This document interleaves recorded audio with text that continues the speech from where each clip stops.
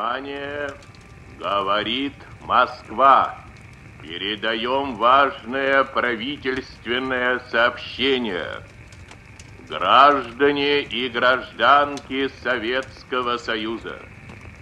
Сегодня в 4 часа утра без всякого объявления войны германские вооруженные силы атаковали границы Советского Союза.